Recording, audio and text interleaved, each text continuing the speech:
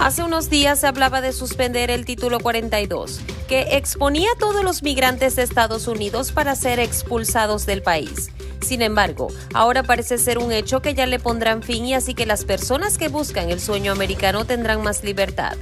El anuncio llega después de que un juez federal le diera al Departamento de Seguridad Nacional un plazo de cinco semanas para suspender la norma. Entre los planes del Ejecutivo están incluidas medidas para reducir los tiempos de procesamiento, aplicar represalias a quienes crucen la frontera de manera ilegal. En los primeros días de la pandemia del coronavirus, los CDC emitieron una orden de salud pública el 20 de marzo del 2020 que según los funcionarios tenía como objetivo detener la propagación del COVID-19.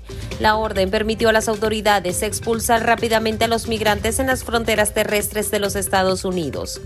Con el pretexto de esa normativa, Estados Unidos no permite a los migrantes solicitar asilo cuando llegan a su territorio y son expulsados del país por la vía rápida. La política es ampliamente conocida como el Título 42 por parte del Código de Estados Unidos que permitió que el director de los CDC la emitiera.